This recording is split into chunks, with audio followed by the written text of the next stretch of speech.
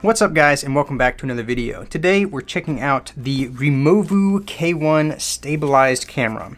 This little thing is actually really cool. It's basically a tiny little camera that's mounted to a dedicated gimbal and it shoots videos as well as photos and time lapses as well. Think I said as well twice. Anyways, it shoots 4K at up to 30 frames a second, 1080p at 120 frames a second slow motion, and 720p up to 240 frames a second, so you can go really, really slow with this camera here. It can capture 12 megapixel pictures with its f2.8 lens that is a 17 millimeter, it says right there, and that is full frame equivalent 17 millimeters, which is about 12 to 12 and a half millimeters on an APS-C camera. You get about four hours of recording time with the included and replaceable 2900 milliamp hour battery. All these batteries have got a little micro USB port so you can charge them, as well as a quarter 20 mount on the bottom that allows you to mount the gimbal to anything you want. However, that four hours of runtime is in 1080p only.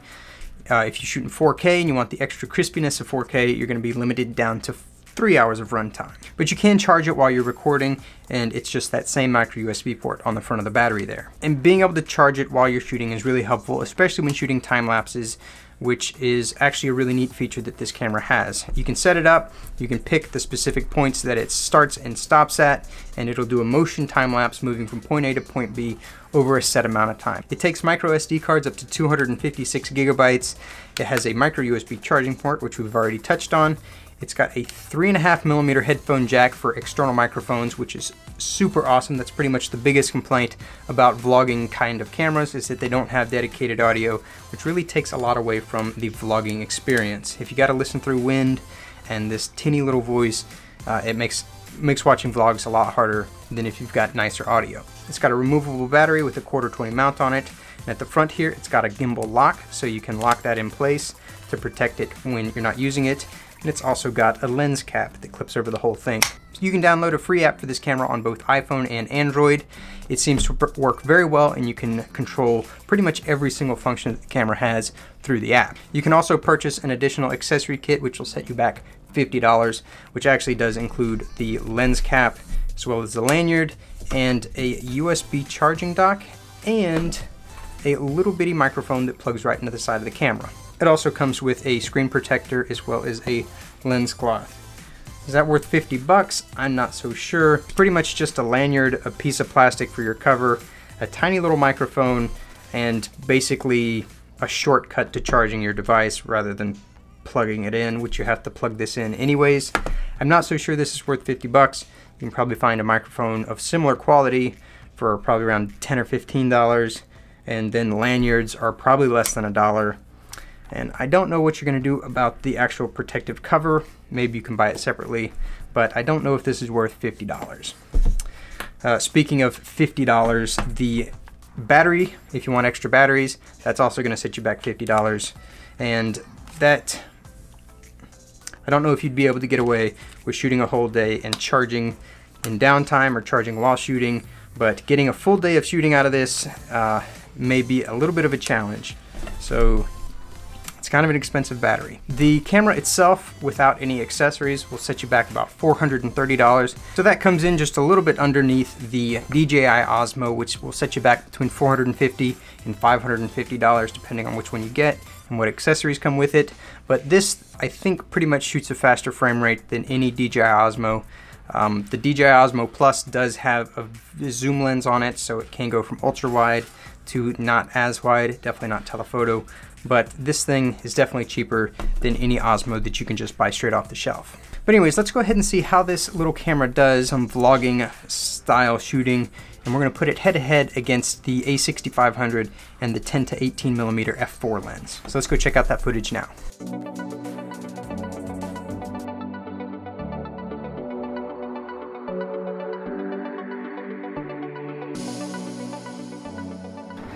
Alright, so this is some bad backlighting, but still, this is the Removu K1 and all of its glory. I think this will make a pretty neat uh, vlogging camera because it is so small and lightweight that you really, it's there's zero effort when it comes to getting nice smooth footage and having a small compact package with a pretty wide angle lens. Sorry. All right, so it's pretty easy to flip between the rear-facing camera and the selfie camera, which they called selfie mode. You just bump the trigger three times and it flips around. And then you've got a front-facing camera perspective. Two bumps on the trigger will recenter everything. And then three more bumps will flip you back around into selfie mode. This is the included microphone, which is just a little nub that sticks out the side of the camera here. And it's very low profile and it'll stay out of the way even when you're storing the camera. So everything can pretty easily be accessed with one hand on this camera and its size and form factor make it super convenient so this could be a remarkable little vlogging camera. I haven't done too much as far as reviewing the image quality but let's go ahead and see how it compares side by side with my go-to vlogging setup which is the a6500 with the 10 to 18 millimeter lens on it. Alright so this is a side-by-side -side vlogging comparison with the a6500 here and the Rode Video Micro. This is the 10 to 18 millimeter lens at about 11 millimeters, which is pretty close to the 17 millimeter full frame equivalent that the Removu lens is. On the Removu side of things, we have got the microphone as well as the tiny gimbal itself. The smoothness of the video there should be quite a difference between the two, even though there is optical steady shot built into the Sony 10 to 18 millimeter lens. So I'll be interested to see how this turns out. I am going out of the country in a few weeks, and I'll be interested to see if this little camera could be my vlog replacement for that trip. But I kind of doubt it because I'll be taking my Sony anyways, because I like taking pictures. And the wonderful shallow depth of field for some cinematic B-roll. However, the Removu does shoot up to 240 frames a second, so let's see what kind of cinematic shots we can achieve with it, with its tiny little sensor and fairly deep depth of field.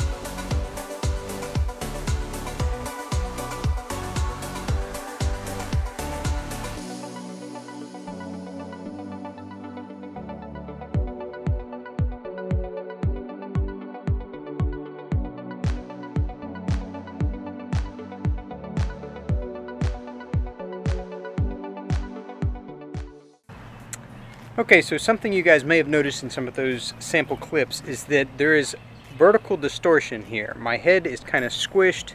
If I move it over here, you see my head is kind of stretched back out to normal size. Now I look like I got a pinhead, and now my head looks normal again.